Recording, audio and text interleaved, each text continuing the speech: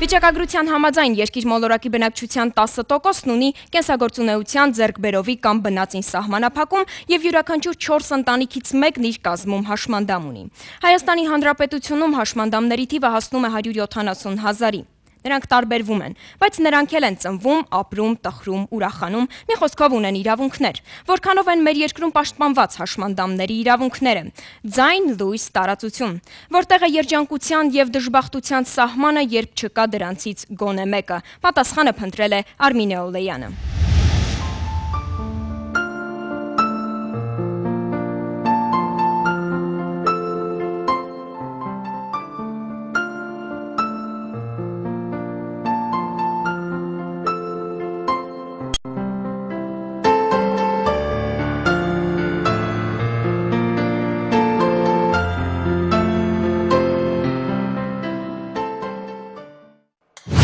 միլիարդ սա երկրագնդի վրա ապրող հաշմանդամների ընդհանուր թիվն է։ Այն տարեստարի ավելանում է, այսօր արդեն հաշմանդամ է երկրի բնակչության մոտ 15%-ը։ Հայաստանում եւս վերջին տասնամյակների սահմանափակ կարողություններով մարդկանց թվի աճ է արձանագրվել։ Մեր երկրում հաշմանդամների թիվն ավելացավ հատկապես նախորդ դարի վերջին, ավելի երկրաշարժն ու Արցախյան գոյամարտն իրենց գործը արեցին։ Ներկապային Հայաստանի Հանրապետությունում գրանցված են 172356 հաշմանդամ, որոնցից այդ թվում հաշմանդամ երեխա 7891-ը։ Ավելի բարձր տոկոս կազմում են տղամարդկանց թիվը հաշմանդամների, Հաշմանդամությունը տվյալ անձի անբարենպաստ վիճակն է, որը զարգանում է վնասման կամ անկարողության հետևանքով սահմանափակելով կամ անհնար դարձնելով նրան բնորոշ կենսագործունեությունը։ Հաշմանդամության պատճառները տարբեր են ձեռքբերովի ու բնածին։ Բնածին հաշմանդամության առաջին նախադրյալը ժառանգական գործոնն է, երբ հիվանդությունն արդեն իսկ արկա է երեխայի գեներում։ Երբեմն իհարկե առողջ գեներում եւս կարող է ի հայտ գալ հաշմանդամություն։ Պատճառը կարող է լինել վաղաժամ ծննդաբերությունը կամ հղիության սխալ ընթացքը, ասենք ներարգանդային ինֆեկցիաներն ու այլ գործոններ ապացուցված է, որ ծխող ծնողների մոտ հաշմանդամության տոկոսը երեխաների շրջանում է քիչ ավելի բարձր է։ Կա նաև անշուշտ այնպիսի երևույթ, ինչպիսին է որակյալ բժշկական խնամքը։ Պակաս ազդեցիկ չեն շրջակա միջավայրի ու մեր էկոլոգիայի թողած հետևանքները օրգանական աղտոտիչները, հա, որոնք կարող են առաջացնել պտղի մոտ անդարձելի խանգարում, հա, որոշակի ինչ որ դեֆեկտ կարող արտահայտվել երաշխությունների վրա, կարող արտահայտվել նյարդային համակարգի վրա, կարող են առաջացնել նույնիսկ ցնցումներ, ցնցումային ախտանիշ հետագայում ծնվելուց հետո։ Հաշմանդամություն կարող է ի հայտ գալ նաև ոչ այդ որևէ կասկածներ չունեցող մարդու մոտ ամենաբանալ հիվանդությունները, եթե վերցնենք ամենապարզ հազը մրսածությունը, պարզ վիրուսային ինֆեկցիան, դա իզորու է, իհարկե փառք Աստծո ոչ այնքան հաճախ, փառք Աստծո շատ հազվադեպ, բայց նա իզորու է առաջացնել տվյալ երեխայի մոտ մենինգիտ, եւ որի մենինգիտի արդյունքում ձևավորվի այս կամ աշճանի, այս կամ աշճանի խանգարում։ Որտեղ են տանում ինձ մտքերը իրականությունից դուրս, հեռու մի աշխարհ, որն ես եմ հորինել։ Մոտ 4 տարի առաջ էր առավոտյան Վահրամն արթնացավ ու ոչինչ չտեսավ կուրացել էր։ Ի բժիշկը ասաց, որ այս աշկի հետ արդեն խնդիրներ կան, վիրահատեցի, բայց ոսպնյակը քանի որ չեն դրել, լույսն ու մութն են տարբերում, մեկ է ուրիշ նենց բան է տեսնում եմ, բայց չեմ հասկանում էլ իմ տեսածս։ Նոր կարգավիճակին համակերպելը դժվար էր, հին հիշողություններին հրաժեշտ տալը անհնար։ Ինչ արած, համակերպել էր պետք։ Հիմա արդեն ոնց ասեմ, սովորել եմ, բայց դե նենց չի որ սենց դա։ Այ այս մի կետը անա, Սա ստորակետը, հետո բն կարող եմ սա բեմ։ Հիմա Վահրամը սովորում է կույրերի դպրոցում նախկին գիտելիքներին նորեն ավելացնել հասցրել է, միայն թե խնդիրներն այստեղ քիչ չեն։ Դասագրքերի հետ խնդիրներ ունենք, դրա համար էլ դասերը մի քիչ ավելի դժվար ենք սովորում, ես համար կարդում են, հիմնականում բրալյան դասագրքեր չկան։ Մեր գիտելիքները միայն ուսուցիչների շնորհիվ ամեն մենք ստանում ենք Թերեզան կյանքը սկսել է առանց գույների 8 ամսական էր, երբ աղիքային թունավորում ախտորոշումը, բայց ոչ համաժեք բուժումն ու ինչպես ինքն է ասում, մասնագետների ամփոփությունը զրկեցին աչքի լույսից։ Ես ոչինչ չեմ հիշում տեսնելուց, բայց ամեն ինչ պատկերացնում, ամբողջ աշխարհը պատկերացնում եմ իմ ձևով։ Ամեն ինչ պատկերացնում է, առանց տեսնելու ապրում է, բայց այդպես էլ համակերպել չի կարողանում։ Այն, որ ես ինչ-որ մեկից միշտ պետք է կախում ունենամ, թեկուզ հենց մենակ ուղեկցելու առումով, դա արդեն ինձ ցավում Դա արդեն անուղելի խնդիր է կյանքում։ Կյանքը գեղեցիկ է անկախ ամեն ինչից։ Աշխարհն այս դպրոցի պատերում նեղ է, Թերեզան էլ սա գիտի, սիրում է դուրս գալ ու շփվել մարդկանց մասին, նրանց ձայներով պատկերացում է կազմում։ Իհարկե նրա համար կարևոր է ոչ արտաքինը, այլ այն, ինչ տեսնում ես առանց աչքերի։ Ինձ համար բոլորը գեղեցիկ է, սա ամեն ինչի մեջ ուզում եմ գեղեցիկը տեսնեմ, քանի որ տեսնելը ինձ համար խնդիր է։ Տեսնելուց էլ պետք է լավը տեսնեմ։ Դժվարությունները շատ են, բայց համառությունն էլ քիչ չէ Թերեզայի մեջ։ Սովորելու հնարավորությունները կույրերի համար սահմանափակ են, բայց աշխատասիրությունն իրենն արել է, գերազանց արդյունքներ ցուցաբերել արդեն հասցրել է։ Գրքերի պակասն էլ լրացնում է իր իսկ բանաստեղծություններով։ Իմ հայրենի հրաշով, պիտի ապրես հար ու հար, խզավակն եմ երազով։ Իհարկե բոլորը չէ որ Թերեզայի նման համառ են ու պայքարող, այստեղ շատերն են հուսահատված իրենց բաժին ընկած ճակատագրից ու ոչ ոգևորող պայմաններից։ Փոխադրամիջոցի խնդիրն է, որ դպրոցում այս պահին մենք ունենք փոխադրամիջոց երեխաների համար Կույրերի համար նախատեսված միակ դպրոցում այնուամենայնիվ առաջնային համապատասխան դասագրքերի խնդիրն է։ Առաջիկայում նրանց համար դասագրքեր տպագրվելու են, ընդամենը 11 անուն։ Երբ կունենան դասագրքեր բոլոր դասարանները բոլոր առարկաներից հայտնի չէ, միայն հայտնի է, որ դրանով էլ դպրոցի խնդիրները չեն վերջանա։ Դպրոցում գործում են տարբեր գեղարվեստի խմբակներ, բայց մենք ունենք գործիքների խնդիր։ Շատախի կոչվող բարի փորձերը միշտ են ընթանում առանց երաժշտության, այն ավելորդ է։ Պարում են 4 հաշվարկով առանց ռիթմի։ Այստեղ բոլորը չեն լսում։ Խմբի գեղարվեստական ղեկավարն էլ չի լսում, թեև խոսել իր ջանքերի շնորհիվ կարողանում է 3.5 տարի առաջ հավաքագրել խումբն ու սկսել պարեր ուսուցանելը։ դա դժվար է, բայց հաշվելով են բարում եմ որ իլակ ասա 1 2 3 4 1 2 3 4 այստեղ բարում են Մարիան անխմբի լավագույն պարողներից է, հաճույքով է սովորում, ով գիտի, գուցե մի օր էլ երաժշտության ուղեկցությամբ կպարի։ Երաժշտությունը, որ ասում ասենք ոդկի հարվածից բանից ասում ես արդեն զգում եմ ինչ է էլի, ինչ երաժշտություն ասում այդտեղ ասում մի քիչ վատ եմ զգում էլի Այստեղ ոչ միայն պարում, այլև ապրում են նույն աշխարհի մարդիկ, տարբեր են պատմությունները, նույն են ճակատագրերը։ Հա,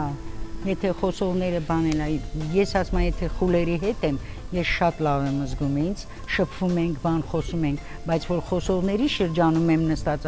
ես ինքս ներվայնանում եմ որ նրանք խոսում են զրուցում են բան են ամ ինչի մասին որ խոսում են ինֆորմացիա ես չեմ ստանում 5 տարեկանից լսողությունը կորցրած աղջկա միակ ընկերները հորեղբայրն ու տատիկն էին։ Հրաժարվում էր վայրերից, որտեղ միայն ձայներ են, իրեն անհասանելի ու անծանոթ։ Հիմա էլ չի ամաչում, չնայած խնդիրներից գլուխն ազատել չի ստացվում։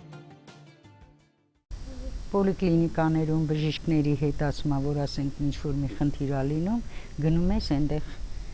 մեկը չկա, որ մենք հաղորդակցվենք, հասկացնենք, թե ոնց է, ինչն է։ Դպրոցն ավարտել եմ, ասում ա։ Ես ինքս ինձ եմ կարողանում կարդամ ես ինքս ինձ ինտերնետ եմ մտել, ոչ մի բան, ոչ մի գիտելիք չի ստացել դպրոցից։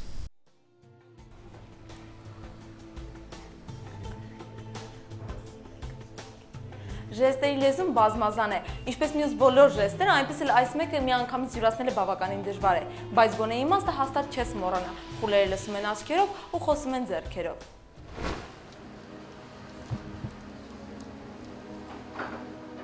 Ձերքերը Արմենը օգտագործում էր ջութակ նվագելիս, հիմա դրանք ավելի ներքև են պտտում են սայլակի անիվները։ 22 տարեկան էր Արմենը, երբ գանվեց սայլակին։ Ինձ իրոք թվում էր, որ դա վերջն է, դա կյանքը դառնում անիմաստ, նույնիսկ հնարավոր ինքնասպանության մասին մտքեր են առաջանում եւ այլ Ճգնաժամային փուլը Արմենը հաղթահարել կարողացավ հարազատներին օգնեցին։ Հիմա ունի ընտանիք ու աշխատանք զբաղվում է հասարակական ակտիվ գործունեությամբ, փորձում օգնել նրանց, ովքեր ունեն իր աջակցության կարիքը։ Առօրյա կյանքում խնդիրներ հաշմանդամները շատ են ունենում, մանրուքից մինչև ամենամեծը։ մեր երկրում շատ քիչ տեղեր կա, որտեղ կարելի է սայլակով անարգել ձևով այցելել։ Մշակութային կյանքին ներառվելու աշխատանքին եւ այլ ոլորտներում ակտիվ ապրելու խոչընդոտները բազմաթիվ են։ Արմեն Ալավերդյանը հաշմանդամների խնդիրներին լավատեղյակ է, ցուցակն այսքանով չի սպառվում ու չի փրկում անգամ այն, որ Հայաստանը միացել է հաշմանդամների իրավունքների ՄԱԿ-ի կոնվենցիային։ Ներկայում ամենամեծ խնդիրը զբաղվածության հարցն է։ Աշխատանք ունի հաշմանդամների միայն 7-ից 8%-ը։ Դա հսկայական ներուժ է, որը մեր պետության կողմից կամ չի օգտագործում կամ շատ քիչ է օգտագործվում։ Տոկոսային առումով չեմ կարող ասել, քանի տոկոսն են զբաղված, բայց ներկա զբաղվածության կենտրոններում մենք ունենք շատ հաշմանդամներ, որոնք այցելում են զբաղվածության կենտրոններ, նրանք վերա մասնագիտանում Ֆրանսիա, Գերմանիա եւ այլն գործում են աշխատանքային քվոտաներ, այսինքն որ հաշմանդամը ոչ թե կախված լինի գործարարի, գործատուի բարի կամքից, այլ պարզապես օրենսդրորեն պարտադրվում է որոշակի տոկոսով ունենալ աշխատողների մեջ նաև հաշմանդամներ։ Աշխատանքի ու սոցիալական հարցերի նախարարությունում լավատես են այստեղ բոլոր խնդիրները լուծված են, ճանապարհները հարթված, բացեր էլ չկան, ողջևորությունն ավելի է մեծանում, երբ նոր օրենքի նախագծին են անդրադառնում։ Մտավախություն կա, որ կոնվենցիան կա, օրենքները գեղեցիկ գրված են, իսկ կիրառումը կարող է չհամապատասխանել դրան։ Հիմնական հիմնախնդիրը աշխատանք չունենալն է։ Այսինքն աշխատելու հնարավորություն չունենալն է։ Եթե հաշմանդամը աշխատեց, այսինքն ինքը օգտակար եղավ, չէ՞, իր մեծավորներին, արդեն իր մեջ այդ հաշմանդամության կոմպլեքսը կվերանա։ Աշոտը խոսում է սեփական փորձից։ Արցախյան գոյամարտի առաջին տարիներին վիրավորվեց։ 3-ից 4 տարի գանվեց անկողնուն։ Հետո հասկացավ ոգով չհանձնվելու համար մի բան անել է պետք։ Զենքի փոխարինեց ասեղն ու թելը, սկսեց ասեղնագործություն սովորել, այն էլ ինքնուրույն։ Գրեթե ցանկացած հաշմանդամ շատ մեծ բավականին մեծ ներուժ ունի։ Այսինքն ինքը կարող հասարակությանը օգտակար լինի, եթե հասարակությունը չմերժի։ Հիմա Աշոտը հելյունագործության դասեր է տալիս մտավոր սահմանափակ կարողություններ ունեցողների այս խմբում։ Ռեսիգնա, ասմիկնա, վաթինա։ Գոհարն իր այժմյան ընկերների հետ ծանոթացել է հենց այս խմբակում։ Արդեն մոտ 4 ամիս է այստեղ են։ Գործում է հաճույքով մոռանալով ժամանակի ու ամեն ինչի մասին։ Գունել եմ շատ սիրում։ Արել եմ շատ սիրում։ Գույներն այստեղ են այս պատերի ներսում դրսի աշխարհում ամեն ինչ այլ է։ Ստերը ամենաշատ լավը։ Ստերովան յաչիրեք հանդերս։ Անես բարեն ասը, որ դու չես կամ քայլես ես, սանում են, սանում։ Ապրել կյանքի անունով տղայի աշխարհը բրուտագործի այս սենյակն է։ Խոսում ու շունչ է տալիս կավին, գուցե շատերից էլ լավ։ Կուր պատրաստեն, ինչպես տեսնում եք, ինձ մոտ չի ստացվում, որքան էլ փորձում են սովորեցնել։ Հավանաբար աթոռը կզիջեմ նրան, ով գործում արդեն վարպետացել է։ Վերջնում եմ կավը, կավից պատրաստում եմ կուշ։ Այստեղ յուրաքանչյուրն ունի իր աշխարհը, բայց բոլորն էլ ապրում են նույն աշխարհում։ Աշխարհ, որ նրանց բոլորի համար երբեմն մի նեղ փողոց է դառնում։ Այսօր ցավոք սրտի օժանդակ դպրոցներն ավարտելուց հետո մտավոր խնդիր ունեցող դեռահասները չունեն միջավայր։ Եվ նման կենտրոններ հանրապետությունում չկա։ Սա միակ կենտրոնն է, որը ստեղծել ենք մենք եւ այսօր մեր կենտրոն հաճախում են 56 շահառուներ Երևանի բոլոր համայնքներից եւ նույնիսկ Նոր Խարբերդից եւ Փարաքարից։ Հաճախ մարդիկ շփոթում են մտավոր խնդիրներ ունեցողներին հոգեկան շեղումներով մարդկանց հետ, խուսափում են նրանցից բանում շատ վարորդներ, ովքեր որ ճանաչում են տվյալ անձին իրենց սպասարկող տարածքում բնակվող, չեն վերցնում, որովհետև մտալ խնդիր ունեցողները հատկություն ունեն խոսելու, հարցեր տալու, ծանոթանալու, եւ դա շատ նյարդայնացնում է վարորդներին։ Սրանով նրանց խնդիրները չեն սպառվում։ Մտավոր խնդիրներ ունեցողները հաշմանդամների շարքում աշխատանք չունենալու հարցում կարելի է ասել առաջին տեղում են մտավոր խնդիր ունեցող մարդը, մարդիկ երիտասարդները հիմնականում բժշկափորձագիտական հանձնաժողովներում որակավորվում են երրորդ խմբի հաշմանդամները։ Երրորդ խմբի հաշմանդամություն ունեցող անձիկ, դրանք աշխատունակ անձիկ են, բայց բերեք ռեալ դատենք։ Այսօր որ գործատուի մոտ մարդը գնում է եւ ասում է ես հաշմանդամ եմ եւ նայում են հոգեբուժական բժշկափորձագիտական հանձնաժողով, ինքնաբերաբար չգիտես ինչու մերժում են անձը։ Գազանքների բարի թերի ես խնդրում եմ մեր երազավարտո կատարի դու մանուկների անհապ Նրանց բոլորի ուզածը մեծ բան չէ, մի փոքր ուշադրություն ու մի քիչ էլ հավասարություն։